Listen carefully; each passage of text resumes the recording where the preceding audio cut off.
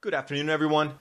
Following on the heels of yesterday's video, pointing out that ice is not even melting far into April now because I only used the last couple of years showing where it's flat, but told NSIDC doesn't even count ice loss in April. Here you go, the previous charts. Do your own research on the interactive.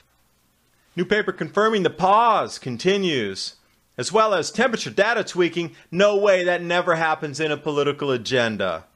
New temperature data sets out. NOAA.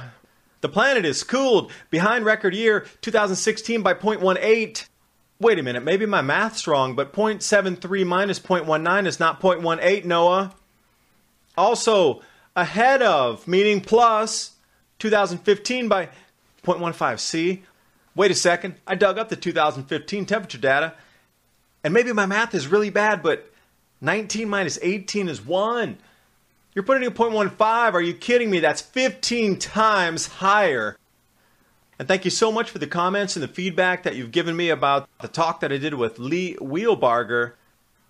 If you have a moment, jump over to Mini Ice Age Conversations on iTunes, Stitcher Radio, and SoundCloud and really see how this grand solar minimum is going to unfold with the electrical phenomenon we can expect. And while you're watching the video, please remember to subscribe to Adapt 2030.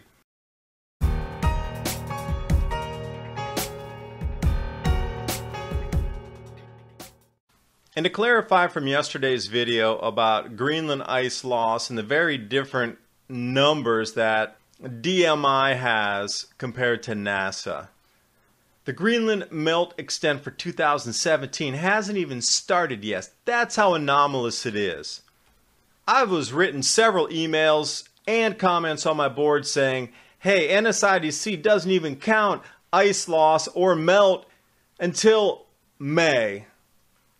Well, you know what? That's totally incorrect. You should do your own research here on the interactive charts before you start writing these types of things. Of course, they count ice loss through April. This is how anomalous it is. And a new paper out the hiatus in global warming has been caused by what? Variability in the atmosphere, energy imbalance. Oh, that means no CO2 warming.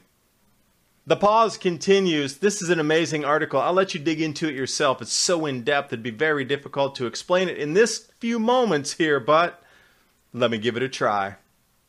Our upper atmosphere is the control knob of the temperature on the planet, regulated by the sun, the magnetosphere, and natural variability. White out here for you. The trend continues. We are cooling.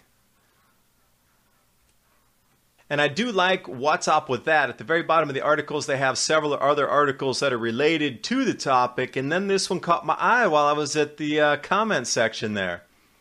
Temperature data tweaking. That never happens in a political agenda. Would it really? Do you think so? Let me put these top and top so you can really see before and after. The former data set is on the bottom. The adjusted set is at the top. That's nearly double. It went from 0.46 to 0.93. Here they are side by side if you look at it information differently. Thank you, Bob Tisdale, for putting this together. Great job that you're doing. Staying on the theme of temperatures, NOAA releasing a new land and ocean temperature departure from March 2017. That temperature anomaly across North America looks pretty similar to what happened to the Maunder minimum. So let's compare temperatures. I want to take you over to Dr. Roy Spencer's site here.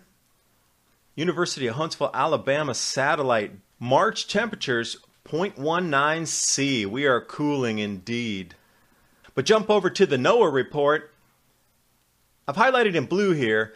Behind the record 2016 March, by 0.18. Okay, that's fine. So let's just do the math here. I dug up the data.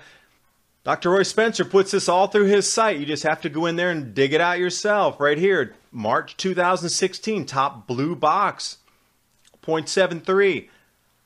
This year, 2017 March, bottom. Do the math yourself. That is definitely not 0.18. What are they? This is cooled more than double what NOAA has put out. And I know you're going to come back and say, oh, it's a land plus a surface temperature. So, these satellite temperatures don't matter. The last 25 years, all we've heard is its satellite record proves it. It's the satellite era. The satellites prove that global warming. Well, now you can't have your cake and eat it too. Now you're going to try to discredit satellite information that's saying land based and surface is even more correct in the satellites, which were the satellites proving that global warming was real all these years.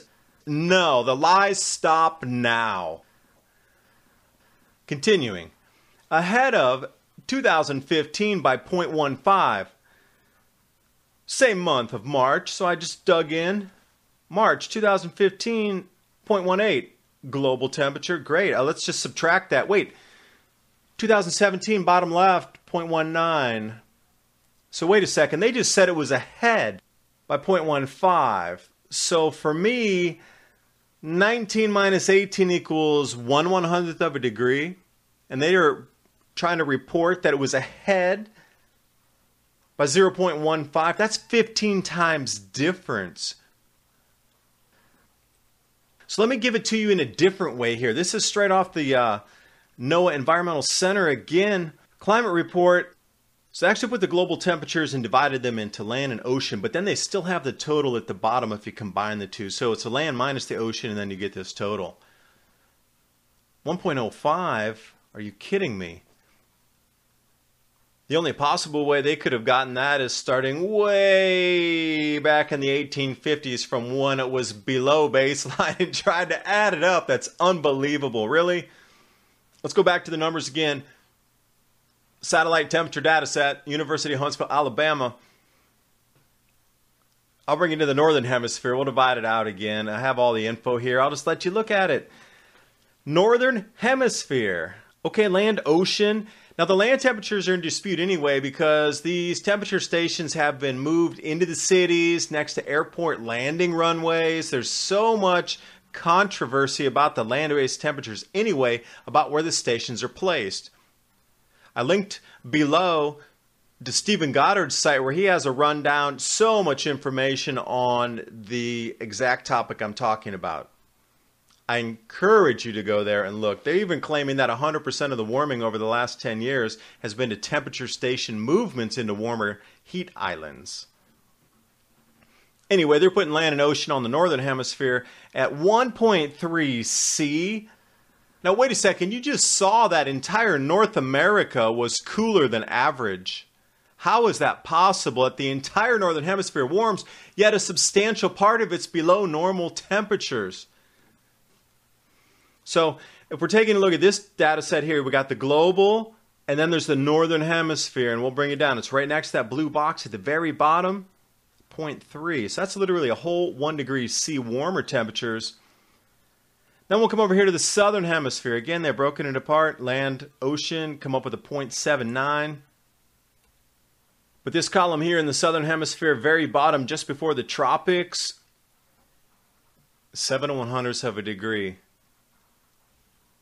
That's running seven tenths of a degree warmer. So, where is this political agenda coming from? The planet's cooling, yet we keep getting fed these numbers that are absurdly warmer than what you're seeing with your eyes. 2017 is not going to be the warmest year ever. Europe's going to be below normal temperatures here for April.